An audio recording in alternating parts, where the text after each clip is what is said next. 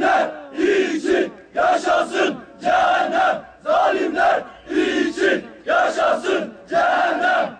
Bu sabah itibariyle başta Adeviye Meydanı olmak üzere Mısır'daki tüm diğer meydanlara, meydanlarda yeni bir katliama başladılar.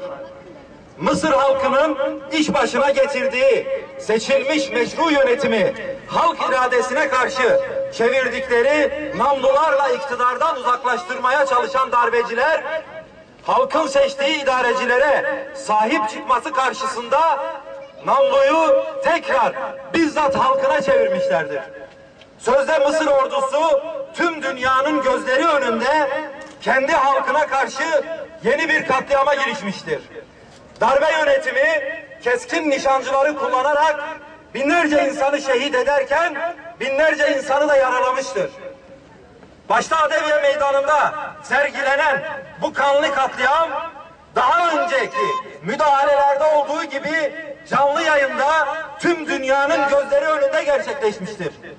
Darbeye karşı direnişin sembolü olan Adeviye Meydanı adeta kan gölüne çevrilmiştir.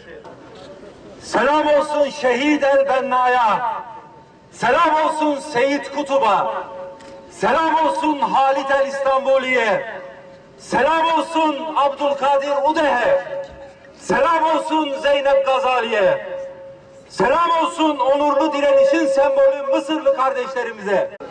Allah'ın laneti zalimlerin ve işbirlikçilerinin üzerine olsun. Akıttık, akıttıkları kanda boğulmaları çok yakındır. Mısır'daki onurlu direnişe selam olsun. Adeviye'nin şehitlerine selam olsun.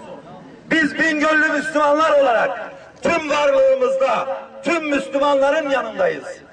Bingöl'den ihvana direnişe bin selam. Bingöl'den ihvana direnişe bin selam. Bingöl'den ihvana direnişe bin selam.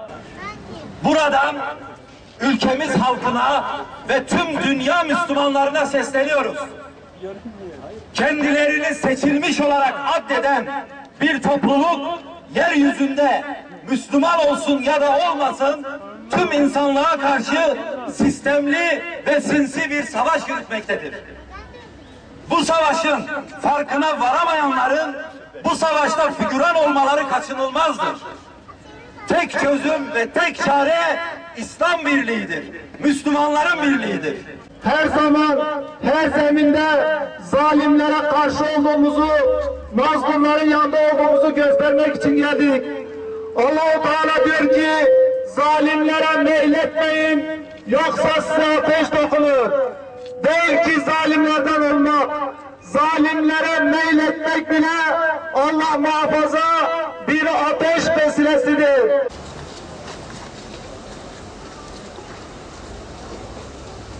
Allahu Ekber.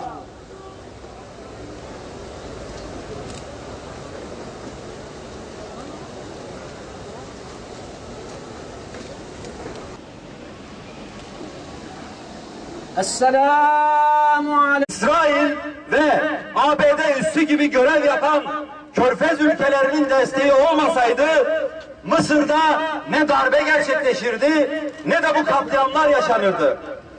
Hal bu iken sadece darbe yönetiminin görünürdeki temsilcisi Sisi'yi eleştirmek ve kınamak, lanetlemek, gerçek katilleri perdelemektir, örtbas etmektir.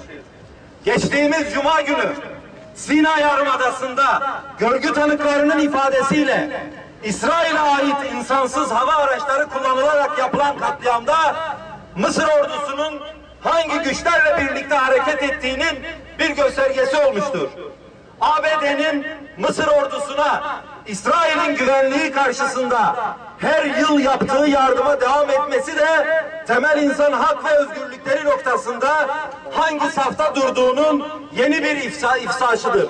Hz. İbrahim'e ateşi serin ve selamet kılan, Hz. Yunus'u karanlıktan aydınlığa çıkaran, Hz. Yusuf'a zindanı saraya çeviren sensin. Rabbim Mısır'daki kardeşlerimize de aziz ve izzetli kıl. Onları muzaffer eyle. Onlara sabır, sebat, sadakat, birlik ve beraberlik şuuru nasip et. Direnişlerine güç ve kuvvet ver. Selam.